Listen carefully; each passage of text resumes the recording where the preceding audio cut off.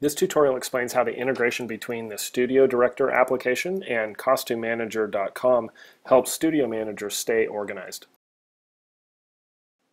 We're going to assume that you've already completed the initial transfer of Studio Director information to Costume Manager.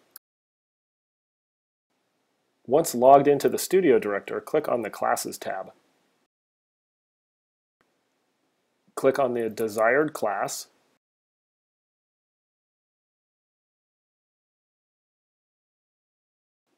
click on the Performance and Costume Management button. The Costume Info from CostumeManager.com section displays the assigned products from within CostumeManager.com. Notice that you can view the type of assignment, the vendor name, the product name, color, style, unit price, retail price, and the required by date. In this example, the costume name is Start the Party, and you can also see that this studio has assigned a garment bag, some jazz boots, and some dark tan tights.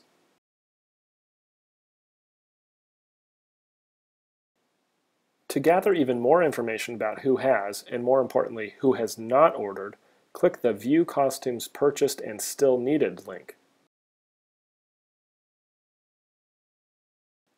The top section shows costumes purchased within CostumeManager.com.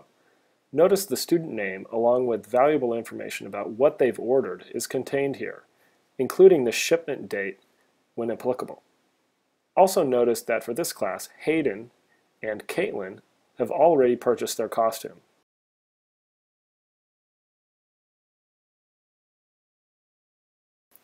To see which students still need to order assigned items, Look at the next section below titled Costumes Still Needed Recommended for Class List.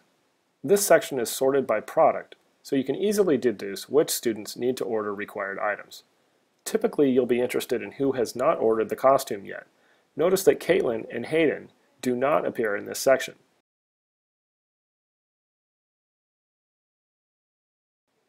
If you'd like to send an email to the students who have not ordered yet, click the Email this group of students link at the bottom of the page. Uncheck any students that you wish to exclude from the email. In this case, since Hayden and Caitlin have already purchased their costumes, we will uncheck them. Click on Create Email.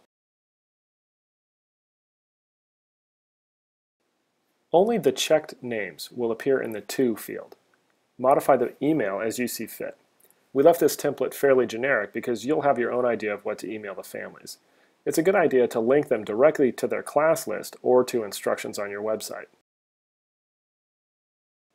To learn how to link a dancer directly to their class list in CostumeManager.com, watch the video titled Emailing Students Their Costume Manager Class List ID. Once you're satisfied with your email, click the Send Email button.